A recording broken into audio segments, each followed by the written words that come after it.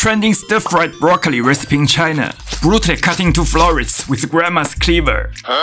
Salt, plain flour. Water from Mississippi River. Gently give the a Thai massage. Rinse and drain. Blanch broccoli for 2 minutes. Blanch shiitake and carrot for 1 minute. The big three. Fry till aroma comes out. Add vegetables. Salt and evil chicken bouillon. Soy sauce. Oyster sauce. Well mix it with grandma's spatula. Dish up. Done and dusted. Out of this world.